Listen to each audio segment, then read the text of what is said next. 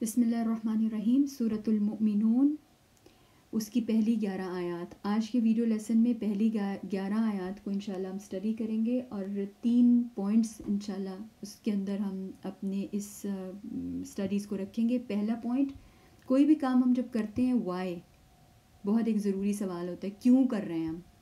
उस काम को करने की वजह क्या है? सो सूरतुलमोमिनून की पहली ग्यारह आयात के हवाले से अगर हम ये सोचें कि मैं ये काम क्यों कर रही हूँ, इसके बहुत सारे जवाब हो सकते हैं, लेकिन फ़िलहाल हम एक ही जवाब पर वो गौर करेंगे और वो है, इसका कंटेंट में जो बात कही जा रही है वो सक्सेस कामयाबी। कामयाबी की गारंटी दी गई है, कामयाबी, दुनिया की भी कामयाबी, यकीनन गारंटी मिली है, अल्लाह सुबहान ताला की तरफ़ से। और क्या बात कही जा रही है कि कैसे कामयाब है? वारिसून है।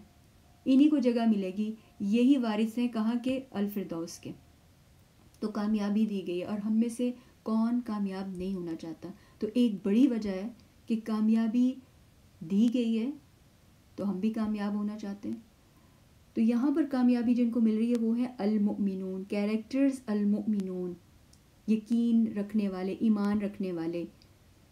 Faithful the faithful the believers अब अगर मैं इसमें से अलमुमिन की बात करूँ, जो एक टॉप पर रसूलुल्लाह सल्लल्लाहु की ज़िंदगी, उनके लिए गारंटी बहुत सारे अलमुमिनून में से एक उनको जो गारंटी भी मिल रही है यहाँ पर, अब उनकी ज़िंदगी का, मेरी ज़िंदगी के साथ उनकी कामयाबी और उनकी ज़िंदगी में जो कामयाबी मिल रही है, वो क्यों मिल रही है? वो तो हम अभी देखते हैं। उसकी कुछ वजूहत यहाँ पर जो अल्लाह ताला ने रखी हैं सेवन रीजंस हम देखते हैं। लेकिन इससे पहले सूरतुल अहज़ाब में, आयत नंबर 21 में लकत काना लकुम फ़ी रसूल उसवत हसना, यकीनन तुम्हारे लिए रसूलुल्लाह की ज़ात में बेहतरीन नमूना है।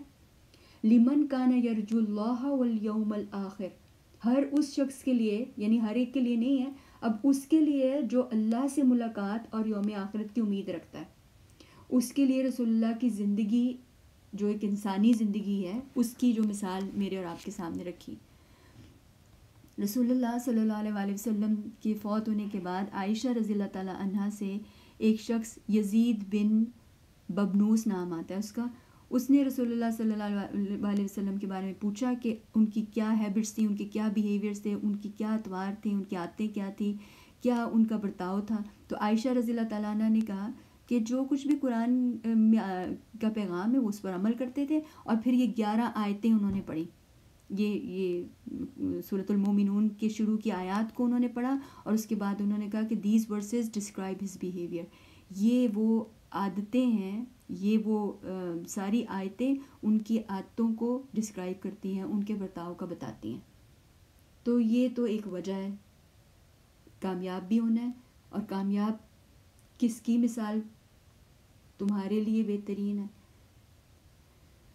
अब हम दूसरी तरफ़ आते हैं वट दूसरा पॉइंट है इसमें क्या बात क्या रखी जा रही है? अब हम उसको गौर कर लेते हैं। तो हमने इसकी बिगनिंग पहली आयत ग्यारह टोटल आयात है और, और इसकी दसवीं और ग्यारहवीं आयत।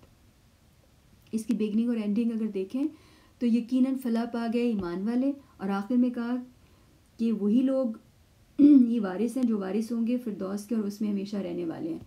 तो यहाँ से बिगनिंग और एंडिंग अल्लाह सुबहान ताला ने अब गारंटी दे दी।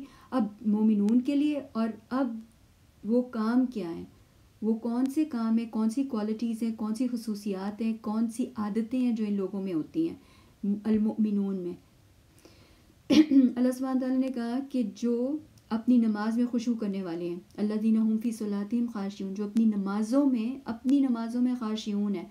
खाशियून कहते हैं दिल की एक कैफियत जिसमें दिल मुकम्मल अपनी ज़ात की पस्ती को जानता है। मुकम्मल आजजी, मुकम्मल अपनी ज़ात की पस्ती के साथ मौजूद है। अल्लाह सुबहान की प्रेजेंस को फील करता है इंसान, अपनी नमाज़ के अंदर का वक्त। नमाज़ के अंदर जो कुछ वो करता है, उसके हाथ, पाँव, जहन, दिमाग, सोचें, जो कुछ भी नमाज़ के अंदर हो रहा होता है। ये सब इंटरनल कैफियत है, दिल की कैफियत है। जो दिल की कैफियत उसके जिसम पर उसके जवारे, उसके लिम्स पर असरअंदाज होती है। तो एक तो ये उसका काम है कि वो नमाज़ों के अंदर उसके दिल की हालत ये होती है, जिसकी वजह से उसका जिसम भी, जब वो रुकू करता है, सजूद करता है तो वो किस तरह कर रहा होता है। उसके दिमाग में कोई बात, कोई आवाज़ बाहर से कानों में नहीं आ रही होती है। गो के इर्द गिर्द शोर होता है कि कौन आ रहा है, कौन जा रहा है, कब दरवाज़ा बंद हुआ है, अब फ़ोन की बेल तीसरी बार बज रही है, या फिर अब मैंने इसके बाद क्या काम करना है। इससे पहले क्या काम हुआ था? कोई डिस्ट्रैक्शन ना इंटरनल है, जहन में कुछ भी नहीं है, सब कुछ खाली हो गया। नमाज़ के अंदर किसी बाहर की तकलीफ़ को महसूस ना करना, सवाए एक पुरसकून हालत के अंदर कि हम अल्लाह के सामने खड़े हैं, जवाब दे रहे हैं। अल्लाह के सामने खड़े हैं, अल्लाह की प्रेजेंस को फील करना खाशियून ये उनकी नमाज़ें ऐसी होती हैं। और दूसरी बात, वल्लदीन हम अनिल्लावी मौरिदून मौरिदून जाने वाले हैं, मुड़ने वाले हैं, एराज करने वाले हैं, हटने वाले हैं, किस चीज़ से हटते हैं? अल्लाह से। अल्लाह हर वो चीज़ जो उनकी ज़िंदगी में उनसे मुतलक नहीं है। हर वो चीज़ जो एक्स्ट्रा है, जो इरेलीवेंट है, जो बेमानी है, बेमकसद है मीनिंगलेस चीज़ें। यानी वो अपने वक्त को ऐसे किसी फालतू वक्त में नहीं फालतू चीज़ों में नहीं गुजारते, फालतू सोचों में। ओवर थिंकिंग भी नहीं करते, ना उनकी सोचों के अंदर लव होता है, ना कामों के अंदर होता है, ना चीज़ें, ना एक्स्ट्रा चीज़ें उनके इर्द गिर्द हैं, ना उनके दिमाग में ऐसी सोचें हैं, जो उनको प्रोडक्टिव होने से रोकती हैं। बल्कि वो क्या कर रहे होते हैं? वो लिज्जकाती, वो लजीना हम लिज्जकाती, फाइलोन। तीसरा काम, मुसलसल करने वाले हैं। तीसरा काम क्या करते हैं? मुसलसल करते क्या रहते हैं?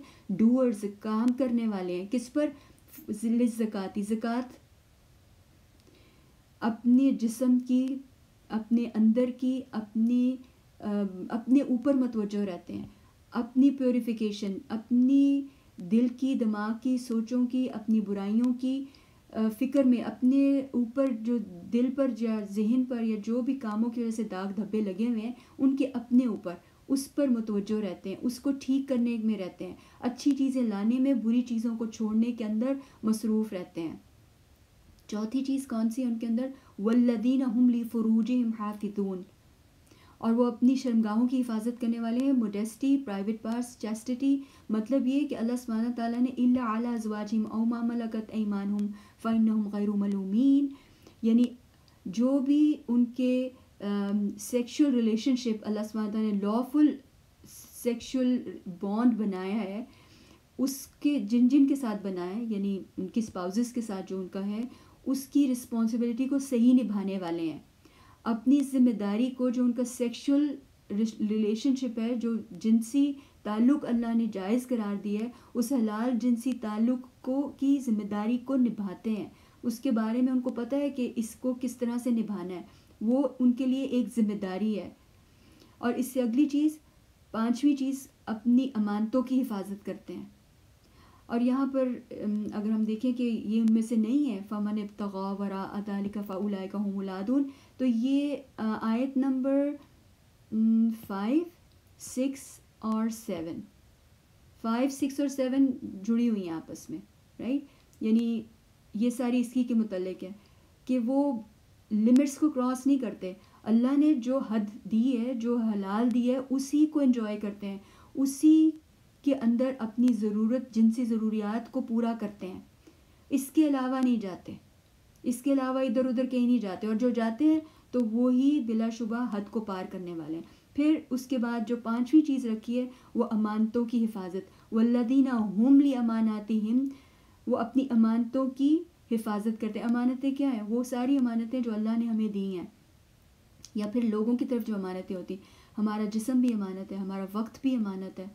उसका लिहाज हिफाजत करते हैं उसकी किस तरह से उसको लुक आफ्टर करते हैं। जैसे एक चरवाहा अपने फ्लॉक की देखभाल करता है या उसकी उसको किस तरह से बचाता है, उसकी हिफाजत करता है, इस तरह से वो जो दी गई अमानतें उनकी हिफाजत करता है।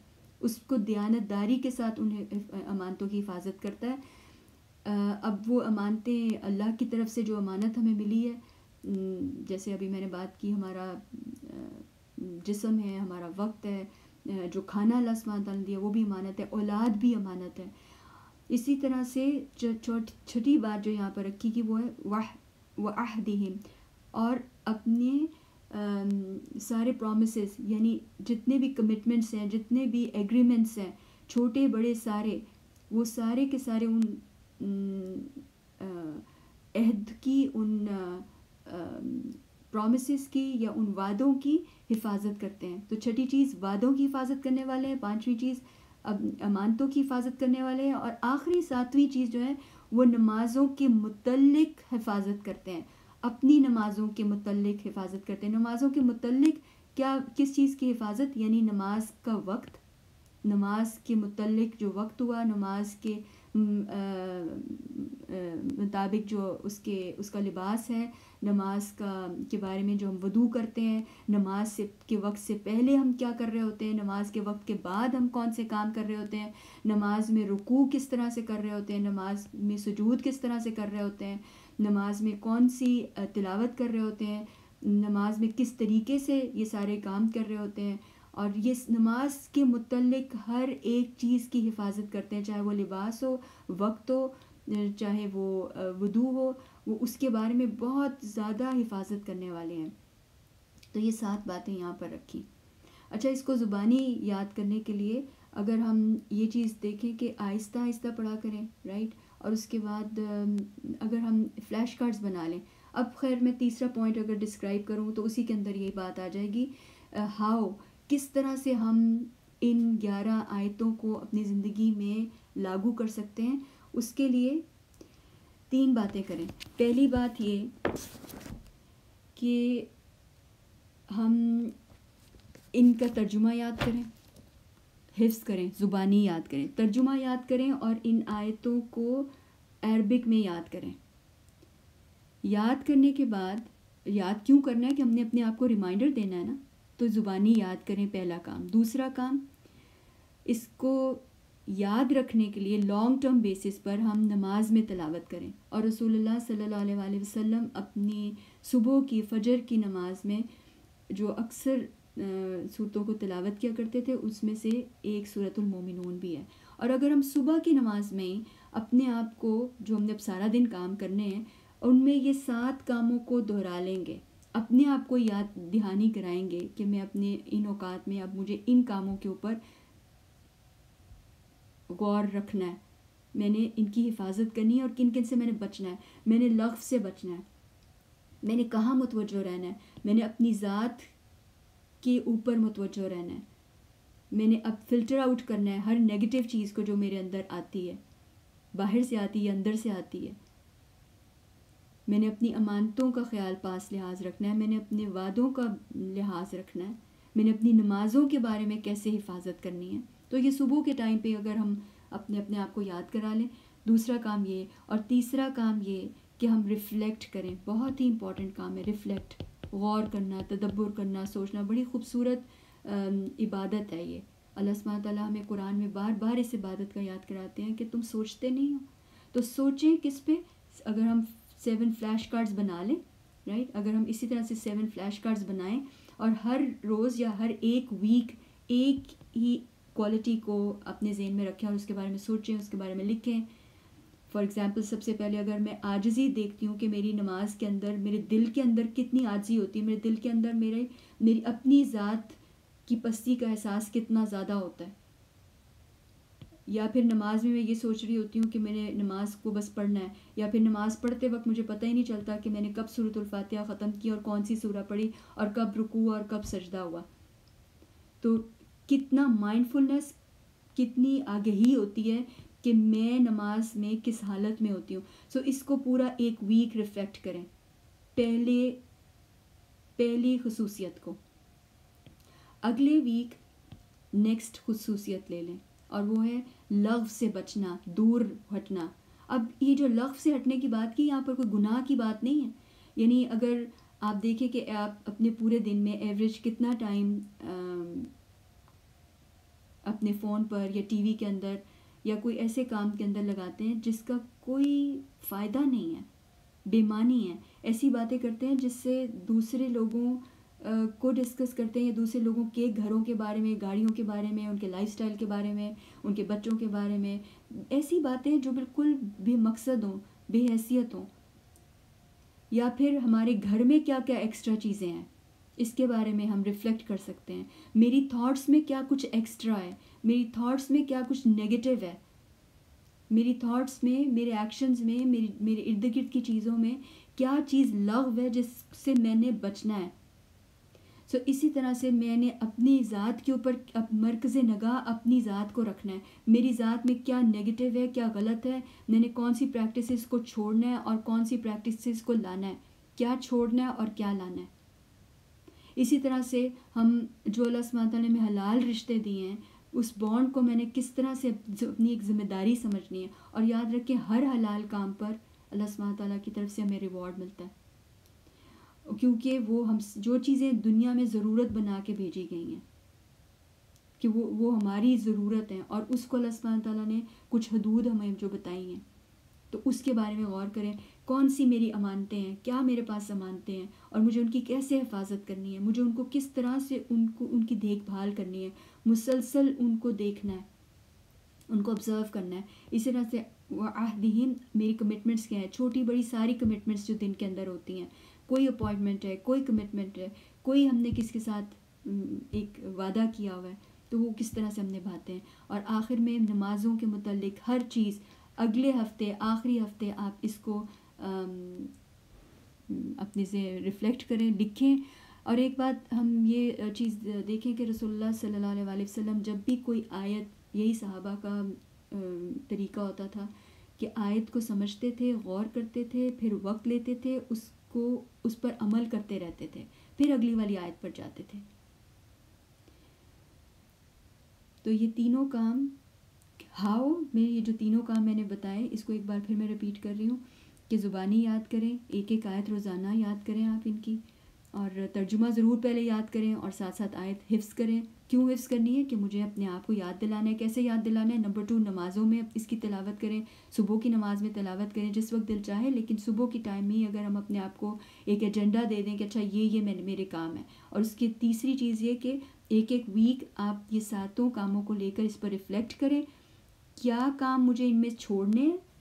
और क्या काम मैंने इन सातों में करने हैं? शुरू करने हैं। और हम इस बात पर कंक्लूड कर रहे हैं, इस एक जुमले पर कि to conquer oneself is the best and noblest success और विक्ट्री अपने आप को फ़तह करना। अपने आप को फ़तह करना सबसे अजीम कामयाबी है। अल्लाह हमें इस अजीम कामयाबी का हिस्सा बनाए। आमीन। अल्लाह आमीन। असल